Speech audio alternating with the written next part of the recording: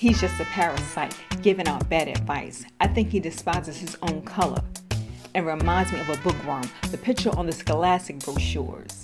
Glasses doesn't mean you're smart, pretending to be educated in women's studies. He's not married and most likely attracted to men, condescending. Some say that he's speaking truth, but he's very rude, disrespectful to women who just don't get it.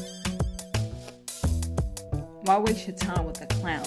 Don't feed into the negativity, obviously because of money and controversy. Using scriptures out of context. Why not inspire uplift since it's just your opinion? Your wisdom doesn't come from the Holy Spirit. Yet what's worse, other males haven't corrected his abuse. It's because they're emasculated too. Black women are doing very well and have raised the bar. It's the same rhetoric. Mark less than Hispanic, white, Indian, and Asian broads. Tell us to lower our standards. Claim we want to be the boss.